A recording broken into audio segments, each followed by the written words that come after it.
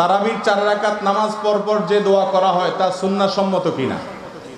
তারাবির নামাজের চার রাকাত পরপর একটা দোয়া পড়া হয়। সোবাহানাজিল মুলকে ওয়াল মালাকুতে। এরপরে আরও শেষে কি কি আছে? আমার পুরো জানা নেই। এই যে চার রাকাত পরপর দোয়া, এই দোয়া কোনো সুন্নাসম্মত দোয়া না। তারাবির নামাজ, এই নামাজটা কি আমাদের বাপদাদারা শুধু বাংলাদেশে পড়ছে না আমাদের নবীজিও পড়ছেন? সাহাবিরা পড়ছেন না, পড়েন নাই? তাবেইরা তবে তাবেইনরা সোনালী যুগের স্বর্ণ মানবরা, ইসলামের প্রথম দিকের সালাফে সালেহীন, তারা পড়ছেন না, পড়েন নাই?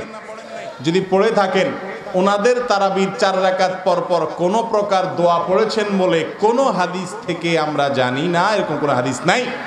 অতএব, তারাবির চার রাকাত পর পর যে দোয়া, তারাবির দোয়া নামে আমাদের সমাজে প্রচলিত আছে, এটা ভিত্তিহীন। এ দোয়া কি? ভিত্তিহীন। অনেক মানুষ আছে। তারাবি পড়ে না। ভাই, তারাবি কেন পড়তে যাও না? বলে যে তারাবির দোয়া মুখস্থ হয় না এখনও। দোয়া মুখস্থ হয় না সেজন্য সে তারাবি পড়ে না। অথচ এ দোয়ার সাথে তারাবির কোনো সম্পর্ক, এ দোয়া আমারা, এই দোয়া তারাবির দোয়া নয়। এটা দোয়ার অর্থ ভালো। এই দোয়ার অংশ বিভিন্ন বর্ণায় বর্ণিত আছে। কিন্তু তারাবির চার রাকাত পড়ার জন্য চার রাকাত পর পর পড়ার জন্য এই দোয়া নয়। নবী সাল্লাহ সাল্লাম তারাবির চার রাকাত পর পর এটা পড়তেন না। তার থেকে এরকম বা সাহাবিদের থেকে কোনো বর্ণনা পাওয়া যায় না। ইবাদত করতে হবে কার নিয়ম অনুযায়ী? রাসুলের নিয়ম অনুযায়ী। আল্লাহ তালা তার রসুল সাল্লাহ সাল্লামকে কেন দিয়েছেন? যেন তাকে দেখে দেখে আমরা আল্লাহর সব নির্দেশগুলো মানতে পারি। আল্লাহর নির্দেশ মানতে হবে রাসুলের পদ্ধতি অনুযায়ী। রাসুল হলেন মডেল আল্লাহ বলেছেন, তোমাদের জন্য রাসুলের জন্য মধ্যে রয়েছে উত্তম আদর্শ, উত্তম মডেল তো তার নিয়ম বাদ দেওয়া নিজের মন গড়া নিয়মে করলে সেটা কি সব হবে না গুণা হবে? বিদায় তারাবির পরপর চার রাখাতের পরপর কোনো দোয়া নাই। আপনি এই টাইমে জিকির, আজকার কিংবা দোয়া কিংবা আল্লাহর কাছে কিছু চাওয়া, কিংবা বসে থাকা, কিংবা একটু পানি খাওয়া, কিংবা একটু পেশাবুজু করা, বা একটু রেস্ট করা, মূলত তারাবির চার রাকাত পরপর যে অফ যায়, একটু সময় দেওয়া হয়, এটা রেস্টের জন্য। যে টানা বিশ রাকাত পড়লে কষ্ট হয়ে যাবে, একটু রেস্টের জন্য দেওয়া হয়। সেখানে আপনি সোবানাজিল মূলকে যদি টান দেন রেস্ট হবে না আরও পরিশ্রম হবে। তাহলে তারাবির চার রাকাতের পরপর কোনো দোয়ার কথা কোরআন বা হাদিস থেকে প্রমাণিত নয়। এরপরে প্রশ্ন হলো জাকাত কি রমজান মাসেই আদায় করতে হবে? ভাইরা আমার, আমাদের সমাজে অনেক মানুষ মনে করে জাকাত রমজান মাসে দিতে হয়। এটা, এ অর্থে ভুল যে রমজান মাসেই শুধু জাকাত দিতে হয় বা জাকাত আদায়ের মাস রমজান মাস, এরকমটি মনে করলে সেটা সঠিক নয়, এটা ভুল। তবে হ্যাঁ রমজান মাসেও জাকাত আদায় করা যায়। জাকাতের সম্পর্ক হলো একজন ব্যক্তির জাকাত বর্ষের সাথে। জাকাত বর্ষ কি? জাকাত বর্ষ হলো আপনাকে আল্লাহ তালা জাকাত দেওয়ার মতো সম্পদের মালিক বানাইছেন যখন পরবর্তী বছর ওই টাইম আপনার জাকাত বছর পূর্ণ হবে। কথার কথা, আমি জিলহজ মাস, কোরবানির ঈদের যে মাস, এই মাসে আমি জাকাত দেওয়ার মতো নেশাব পরিমাণ সম্পদের মালিক হয়েছি পাঁচশো পঁচানব্বই গ্রাম রূপা কিনতে যে পরিমাণ টাকা বা সম্পদ লাগে, এই পরিমাণ সম্পদের মালিক আমি হয়েছি জিলহজ মাসে।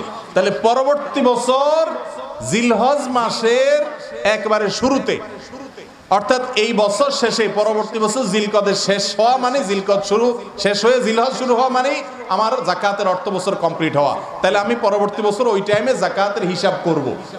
আমাদের দেশে বেশিরভাগ মানুষ জাকাত দেয় রমজান মাসে। ঠিক আছে, রমজানে জাকাত দিলে এটা দোষের না। কিন্তু আপনার জাকাতের হিসাবটা করতে হবে। জাকাতের যে অর্থ বছর আসছে সে অনুযায়ী। কথা কি বুঝাইতে পারছি? আপনি সম্পদের মালিক, কথার কথা আপনি চাকরি নিছেন, বেতন পাইছেন খেয়েটে জমছে, জমার পরে জাকাতের নেশাবের একটা ফিগার আছে না? এই ফিগার হওয়ার পর সেটা যখন হয়েছে পরবর্তী বছর ওই টাইমে আপনার জাকাত আপনার উপর আবশ্যক হবে। এটা প্রত্যেক ব্যক্তির আলাদা আলাদা হবে। আমার জাকাত বর্ষ একরকম, ওনারটা আরেক রকম হইতে পারে, ওনারটা আরেক রকম হইতে পারে। কিন্তু জাকাত আগে দেওয়া যায়। কথার কথা, জিলহজ মাস হইতে এখনও তিন মাস বাকি। আমি এখন থেকে হিসাব করে যদি জাকাত দিয়ে দেই, এটা দেওয়া যায়। আগে দেওয়া যায়। কিন্তু জাকাত রমজানেই দিতে হবে, এটা অনেকেই মনে করে সেটা ভুল। রমজানেই শুধু জাকাত দিতে হবে এমন কোনো কথা নয়। জাকাত সারা বছর ধরে দেওয়া যায়। রমজানে গরিব মানুষের যাতে রোজা রাখতে পারে, ঈদ পালন করতে পারে, সেজন্য আপনি সহায়তা করলেন, সেটা ভালো কাজ। আর শুধু জাকাত নয়, রমজানে জাকাত দেন পাশাপাশি আপনি রমজানের সাধারণ দান করেন প্রচুর পরিমাণে। বরং জাকাত এটা তো আপনি সারা বছর দিতে পারবেন। কিন্তু রমজানে দানের যে সওয়াব, এটা সারা বছর আপনি পাবেন না। এই জন্য সাধারণ দান দক্ষিণা করেন গরিব দুঃখীকে, আত্মীয় স্বজনকে এবং মানুষকে যাতে রোজা রাখতে পারে, ঈদ উদযাপন করতে পারে। বাচ্চা জন্মের পর চল্লিশ দিন পর্যন্ত বাচ্চাকে একা ঘরে রাখা হয় না। ইসলামের দৃষ্টিতে এটা কতটুকু যুক্তিযুক্ত জানতে চাই? বাচ্চা জন্মের পর চল্লিশ দিন বাচ্চাকে একা রাখা হয় না। ঠিক আছে তো? এখানে তো ইসলামের দৃষ্টিকোণ না। এখানে বিষয়টা হলো, বাচ্চা জন্মের পর একা একা রাখলে তো বিপদ হতে পারে। একা একা রাখবে কেন তাকে? কিন্তু কেউ যদি এটা মনে করে যে বাচ্চা জন্মের পর চল্লিশ দিন পর্যন্ত তার সাথে কেউ না কেউ থাকতে হবে, এক মিনিটের জন্য তাকে এক কক্ষে আলাদা রাখা যাবে না। তাহলে সেটা ভুল। এ কথা কোরআন হাদিসে কোথাও নাই, এটা কুসংস্কার। কথা কি বুঝাতে পারছি?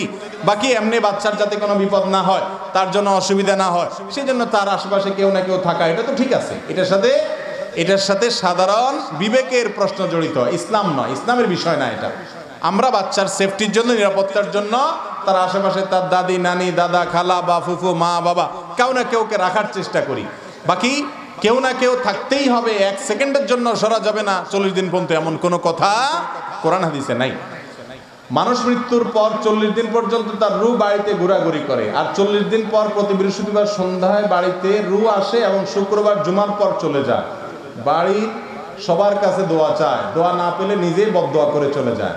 এ বিষয়ে জানতে চাই। ভাই, এরকম অনেক বিষয় আমাদের সমাজে প্রচলিত আছে, এগুলো সব ভিত্তিহীন মন গড়া এবং সম্পূর্ণ কুসংস্কার।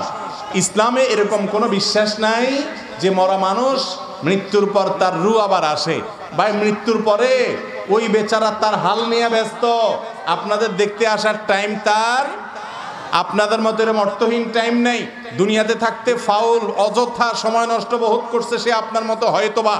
কিন্তু মৃত্যুর পর এখন সে নিজেকে নিজে ব্যস্ত হয়ে গেছে। যদি সে জান্নাতি হয়, তাহলে সেই নেয়ামতে আছে। জাহান্নামি হলে সেই নেয়ামতে তার সে শাস্তিতে আছে। সে আইসে আপনাদেরকে সালাম করবে, দোয়া করবে বদোয়া করবে, চাইবে ফুর্তি ফার্তা করবে। এত এত ফ্রি আর নিরিবিলি সে আছে এটা মনে করার কোনো কারণ নাই। মানুষ মৃত্যুর পর আর রিটার্ন করার কাম করার, ফিরে আসার কোনো সুযোগ আছে না নাই? নাই। হিন্দু ধর্ম মতে এই ধরনের বিভিন্ন কথা আছে। কিন্তু ইসলামে এরকম কোনো কথা আমরা অনেক সময় আমাদের পার্শ্ববর্তী হিন্দু ভাই বোনদের সাথে থাকতে থাকতে বা তাদের অনেক কালচার আমরা নিজেদের মনে করে আমাদের মধ্যে ধারণ করে ফেলেছি।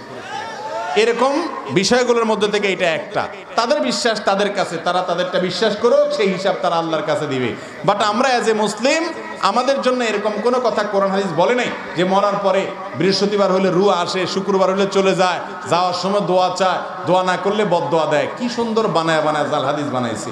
আল্লাহ হেদায়ত দান করুক যারা সমস্ত কথা বানাইছে। এ ধরনের বিশ্বাস রাখলে সেটা ইমানের সাথে ক্ষতিকর হবে। মৃত্যুর পর আর রুহ কখনো ফিরে আসার সুযোগ নাই।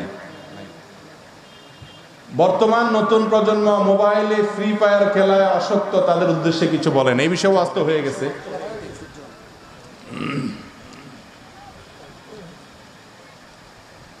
প্রশ্ন আর দিন না, প্রশ্ন আমার কাছে নেওয়া শেষ। আর কোনো প্রশ্ন দিয়ে না, রেখে দেন আপনার কাছে। মহিলারা মসজিদে নামাজ আদায় করতে পারবে কিনা? মহিলারা মসজিদে এসে নামাজ আদায় করতে পারবে, তবে বাসায় পড়াটা উত্তম। মসজিদে এসে নামাজ পড়তে পারবে, কিন্তু বাসায় পড়াটা উত্তম। নবী করিম আলাইহি সাল্লাম থেকে পরিষ্কার হাদিস বর্ণিত হয়েছে, লা তামনাউ ইমা আল্লাহি মাসা, আমা আল্লাহি মাসাজিদ আল্লাহ তোমরা আল্লাহর বান্দীদেরকে আল্লাহর ঘরে আসতে বাধা দিও না।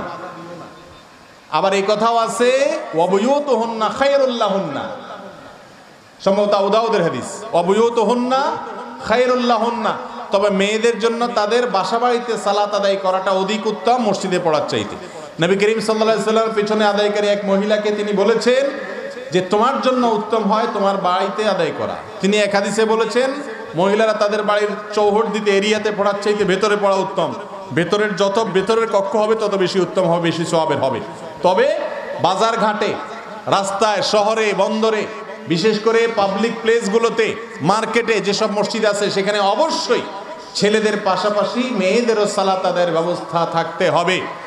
কারণ ডাক্তার দেখানোর প্রয়োজনে ট্রিটমেন্টের কাজে, জরুরি কাজে তাদেরও বের হতে হয়, সফরে অনেক সময় যেতে হয়।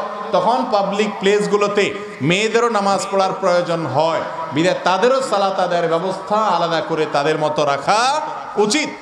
যদি না রাখেন, তাহলে একজন নামাজি তার স্ত্রী বা মা বোনকে সাথে নিয়ে গেলে তিনি মসজিদে প্রবেশ করবেন আর মহিলাকে বাহিরে দাঁড় করে রাখবেন। তার সেফটিরও সমস্যা, আর এটা কখনো ইসলামের নির্দেশ হতে পারে না যে মহিলা নামাজ পড়তে পারবে না। বাসায় এসে নামাজ পড়তে পারবেন কি পারবেন না, ওয়াক্ত থাকবে কি থাকবে না, অনেক ব্যাপার। এই জন্য মহিলাদের মসজিদে, মহল্লাতে, প্রতি মসজিদে মসজিদে মহিলারা বাজা, বা- নামাজ পড়বে না, সে নির্দেশ নাই। তারা বাসায় পড়বে, তবে যদি কখনো মসজিদে পড়ার সুযোগ দরকার হয় তাহলে তাদেরকে কেউ মসজিদে নামাজ পড়তে বাধা দেওয়ার ক্ষমতা কারও কেউ বাজারে গেছে? আবদুল্লাহ জাহাঙ্গীর আমাদের একটা কথা বলতেন, যে মহিলারা যে কাব- যেভাবেই হোক তারা বাসার বাইরে চলে গেছে। এখন আপনি যদি বলেন যে না, মসজিদে নামাজ পড়তে পারবা না, তাহলে তারা বাসায় ঢুকে যাবে, ব্যাপারটা এরকম না। ব্যাপারটা হলো নামাজ পড়বে না। তাহলে তারা নামাজ না পড়া ভালো, না মসজিদে ঢুকে পড়া ভালো। এই জন্য অন্তত পাবলিক প্লেসগুলোতে অবশ্যই গুরুত্বের সাথে মেয়েদের জন্য নামাজের ব্যবস্থা থাকা উচিত।